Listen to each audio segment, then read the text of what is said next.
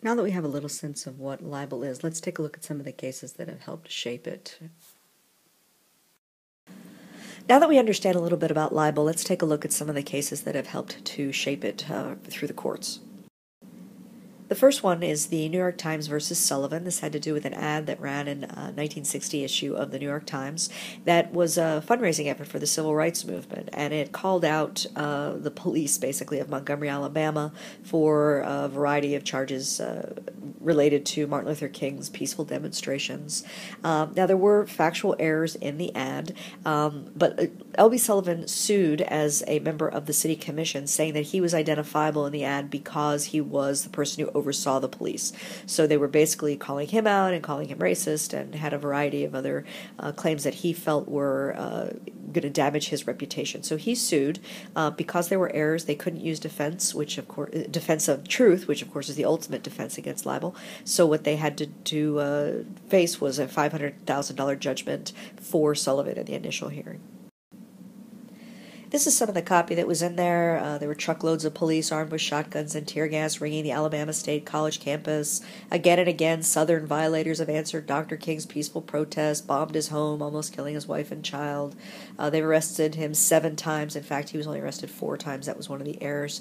Um, so, you know, this was uh, the statements that uh, Sullivan was uh, claiming were libelous. Now, the question before the court was did Alabama's libel law by not requiring that Sullivan had to prove the ad harmed him personally and dismissing it as untruthful due to these factual errors, did, did it unconstitutionally infringe on the idea of uh, First Amendment freedom of the press protection? And in fact, the court said yes, it was a unanimous verdict.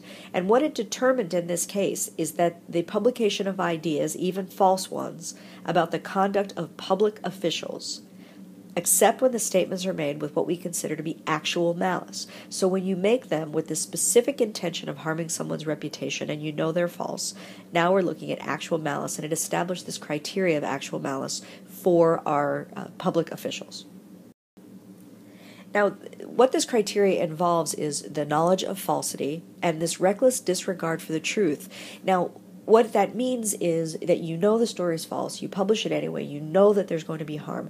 This can be mitigated, according to the court, by three specific areas. One is the urgency of the story, and that's going to come into play in a minute.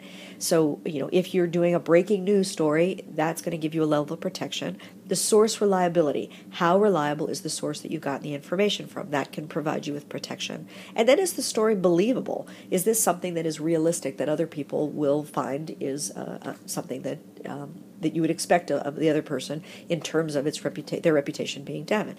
Now, the next case that we start to look at uh, comes uh, just a few years later, 1967, which is Curtis Publishing versus Butts. Now, the Saturday Evening Post was published by Curtis Publishing, and they ran an article that said that Wally Butts conspired with Bear Bryant uh, to fix a football game in Alabama's favor in 1962. Now, the source that they had was identified as George Burnett, an Atlanta insurance businessman, and he said he'd overheard this conversation. Now, Butts brings a libel suit and he wins. But this was not long after the New York Times versus Sullivan case, and so Curtis moves forward for a new trial. Uh, be, and what they're claiming is uh, that they should be applying the statute that was established in the Sullivan case. But the trial court says no, Butts is not a public official. And so they appealed that to the Fifth Circuit, which was affirmed, and so they took that to the Supreme Court.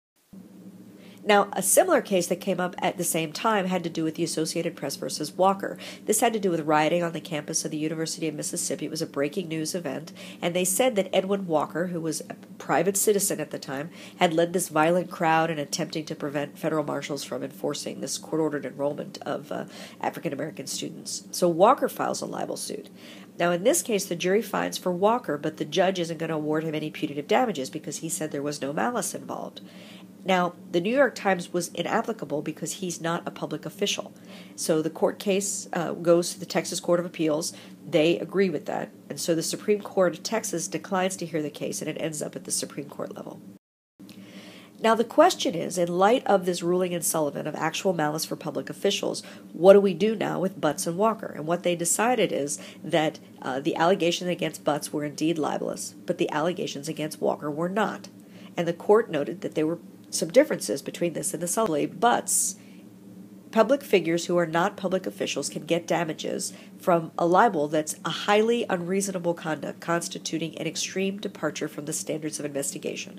So, what they're saying is that because the reporters got this information without any attempt to verify it, they got it from a single source that was questionable, uh, it was not a pressing news story, so they had the time to check it out, that the fact that they published this based on a source that was not as credible as they needed it to be and they didn't confirm the information that ended up to be a libelous situation.